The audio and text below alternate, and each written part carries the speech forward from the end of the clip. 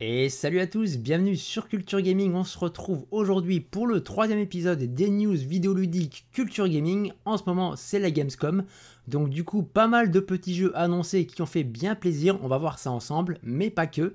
J'espère que le contenu va vous plaire, n'hésitez pas comme d'habitude à lâcher des pouces bleus, à vous abonner, à commenter.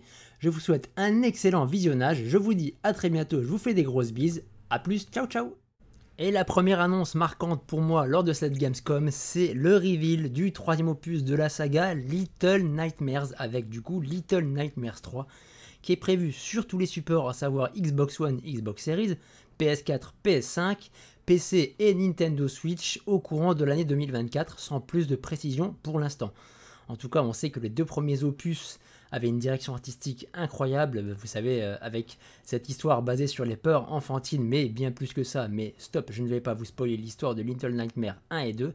En tout cas, ce troisième opus semble marcher sur les traces des deux premiers épisodes, même si, même si la direction artistique semble bien différente à certains points. Bref, j'ai hâte d'en voir plus. Little Nightmares 3 2024 sur toutes les plateformes vidéoludiques existantes.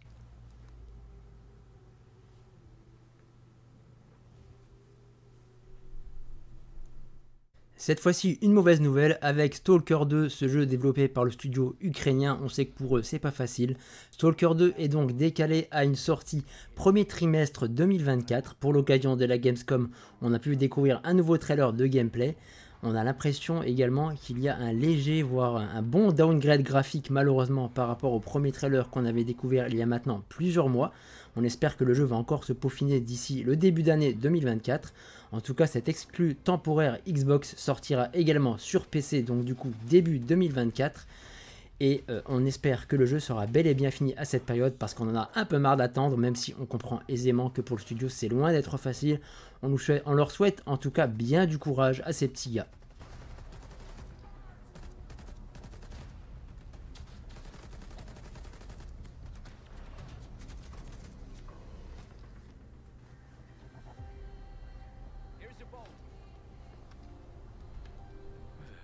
Big Farm Story, le jeu de gestion bien sympathique sorti depuis maintenant pas mal de temps sur PC, vient d'être annoncé sur la console hybride de Nintendo, la Nintendo Switch. La sortie est prévue le 1er septembre 2023.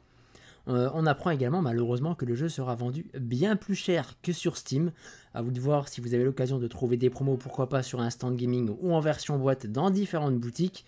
En tout cas, je sais que les joueurs de Nintendo Switch sont fans de ce type de jeu et seront ravis que ce nouveau jeu de gestion arrivera le 1er septembre 2023, histoire de bien préparer malheureusement la rentrée scolaire qui ne fait plaisir à personne. Celui-ci a été l'un de mes gros coups de cœur vidéoludiques horrifiques de l'année 2021. Il s'agissait d'une énorme surprise pour moi et c'était Tormented Souls, premier épisode. Et quelle fut ma surprise lors de cette Gamescom de découvrir un second opus dévoilé avec du coup un titre tout simple, Tormented Souls 2, avec cette ambiance incroyable qu'on avait découvert dans le premier épisode, digne des meilleurs Resident Evil à l'ancienne. On sent bien que les développeurs sont fans de cette saga, ce deuxième opus semble se diriger dans la même direction. On a hâte également, tout comme Little Nightmares 3, d'en voir plus. Le jeu est prévu sur Steam, sur PlayStation 5, sur Xbox Series au courant de l'année 2024.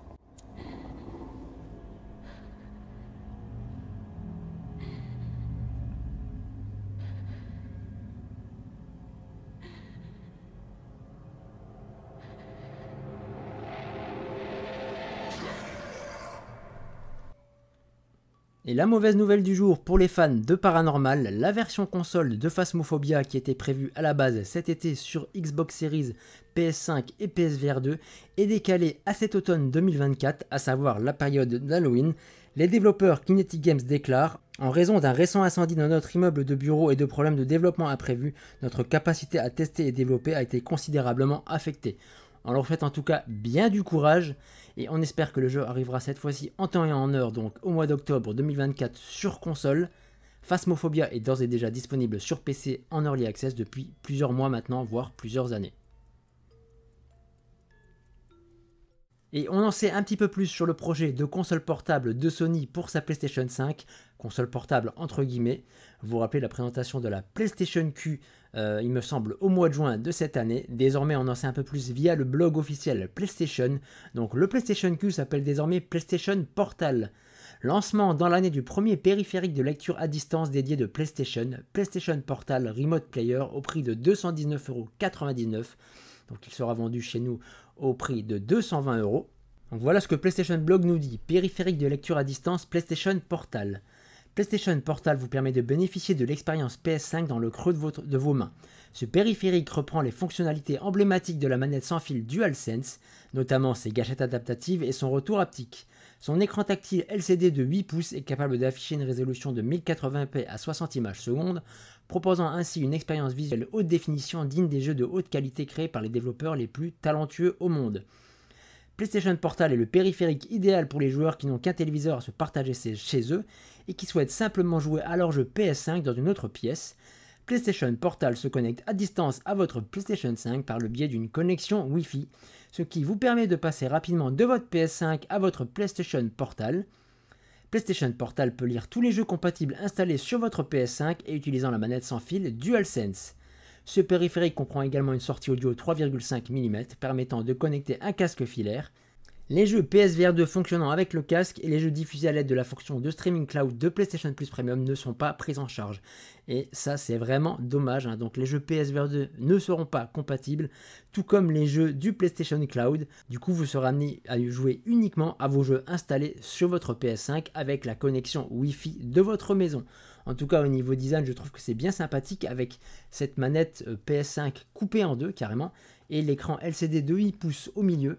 220 euros, c'est plutôt agréable comme tarif, je m'attendais à plus, même si beaucoup de joueurs vont me dire qu'ils ne trouvent pas l'intérêt de cette machine puisqu'ils peuvent jouer en remote play via leur smartphone. A vous de faire le choix, en tout cas, comme je le dis, acheter c'est souvent un acte militant, même si le mot est un petit peu fort. Et la sortie pardon, est prévue pour fin 2023, mais on n'en sait pas plus au niveau de la date, on apprendra ça certainement au niveau de la rentrée scolaire. Bref, j'espère que ces news vous ont plu.